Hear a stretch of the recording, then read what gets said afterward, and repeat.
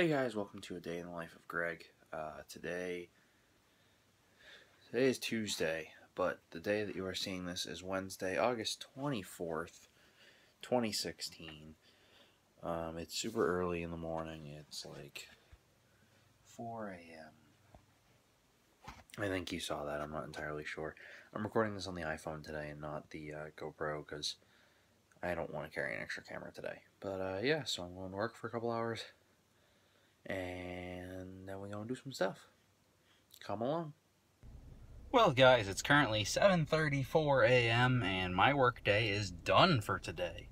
It's the one upside of working a part-time job that you go to work at 4:30 in the morning. Shitty part is you go to work at 4:30 in the morning. Best part is at 7:30 on some days your day's done. Uh, so I gotta go stop at the post office real quick. After I stop at the post office, I then have to record today's video, then edit and upload today's video.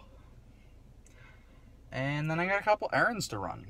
So, uh, yeah, let go. Alright, sorry about any camera shake. My car rig for the iPhone is not the most stable thing ever. Um, so I apologize about that. It magnifies every little friggin' bump in the road.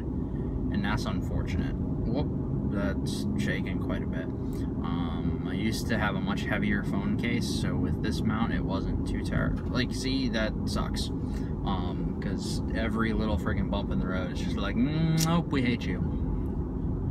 But yeah, so I decided to go run my errands first because I want to just run my errands and then go start recording today's video.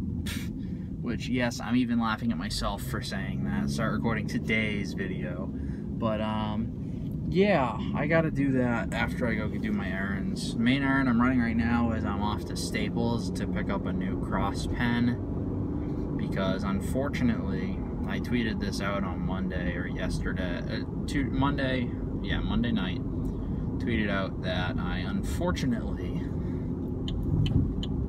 have misplaced my 10 karat gold cross pen and I'm upset about that. I really am. It sucks and I'm mad at myself for somehow losing that. I don't know where it is. So I'm picking up a sterling silver one right now to get me through because I really love the cross pens and I'm going to steer up my knee for a second here. Um, because I really love the cross pens and they're fantastic pens. But I just don't want to drop another 110 bucks on a 10 karat gold cross pen right now. So I'm gonna get the sterling silver, which is like 30 bucks. Um, and then I'll custom engrave it like I did the last one. And all will be fine, but it's just annoying, you know? It's just one extra thing I don't want to deal with, but I have to deal with. Um, and then I gotta stop at the grocery store on the way home too to pick up more bagels for breakfast this week because I ran out this morning. Yeah, so that's what's going on. I'm gonna go pick up some stuff. That's an ambulance coming.